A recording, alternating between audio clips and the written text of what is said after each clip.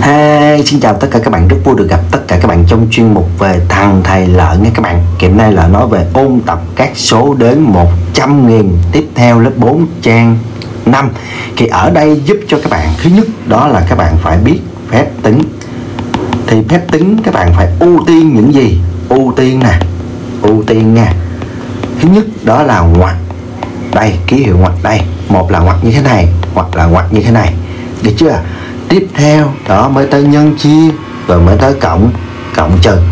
Nếu chỉ có nhân chia không nhân chia thì các bạn làm từ tay trái sang tay tay phải. Nếu chỉ có cộng trừ không thì các bạn làm từ tay trái sang tay tay phải. Ví dụ ví dụ ví dụ như um, 8000 trừ 6000 chia chia 3 thì ở đây có phép trừ và phép nhân. Thì các bạn theo nè, hoặc rồi tới nhân chia rồi tới cộng trừ, vậy mình làm phép chia trước. Vậy sẽ bằng 8000 lấy thằng này 6000 chia 3 thì 6 chia 3 được mấy à? 3 nhân 1 bằng 3 3 nhân 2 bằng bằng 6 vậy viết 2 vào đây. Viết rồi lấy 6 trừ 6 được. Được. Được không?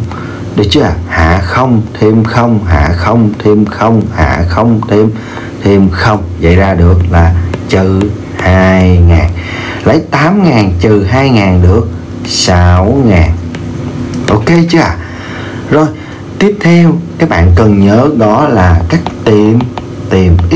Thì tìm x có những dạng cơ bản như sau. Đó là phép cộng nè phép trừ nè, phép nhân nè và phép phép chia. Thì lấy ví dụ ví dụ. X chia 3 bằng 1 5 3 2 thì đây là phép chia nè, đây là số bị chia nè, đây là số chia nè và đây là thương. Vậy muốn tìm số bị chia, số bị chia là lấy thương nhân với số số chia. Vậy lấy 1 5 3 2 nhân cho 3 rồi, kết quả bằng bao nhiêu? Các bạn comment kết quả ở phía dưới giúp lợi nha các bạn. Rồi, thôi, xin chào bạn.